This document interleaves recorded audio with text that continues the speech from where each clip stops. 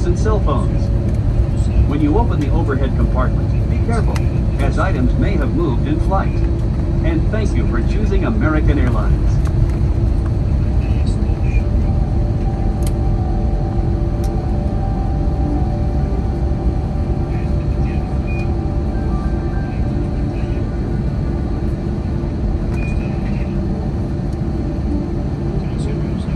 Welcome to Boston. The local time is approximately 11.04 p.m.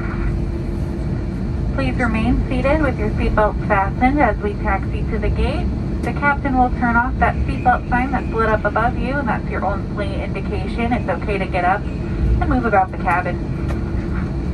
Make sure you do have all of your personal belongings with you, tablets, cell phones, wallets, passports. Once you step off the aircraft, you're not allowed to come back on. We're going to be taxiing to gate B20, B as in Bravo 20. And if you have any checked baggage here, you can find that at Carousel 1. On behalf of American, we'd like to thank you for flying with us tonight. We hope you have a great rest of your night, and we hope to see you soon on another American Airlines flight.